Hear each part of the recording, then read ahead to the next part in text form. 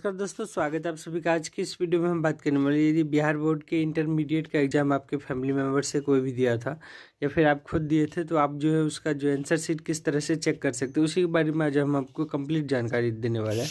तो चलिए शुरू करते हैं आज का ये वीडियो।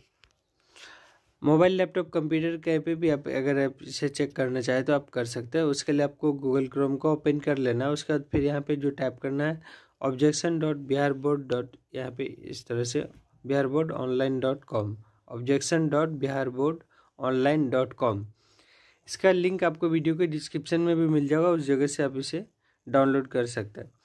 ये अपली यहाँ पे जो है वेबसाइट है, अब आपको यहाँ पे करना क्या होगा? यहाँ पे सिलेक्ट ऑप्शन पे क्लिक करके हायर सेकेंडरी इंटर इस ऑप्शन को आपको सेलेक्ट कर लेना है।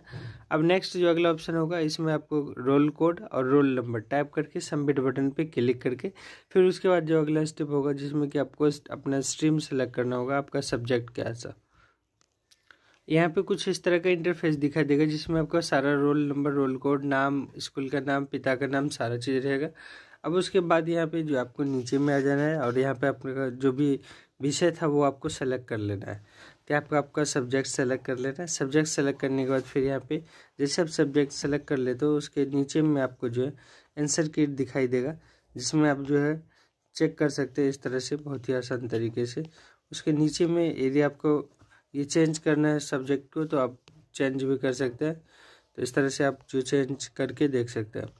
अब दोस्तों, ये अपडेट आप सब दोस्तों को पसंद आया होगा, मिलते हैं फिर किसी नए अपडेट में। धन्यवाद, जय हिंद, वंदे मातरम।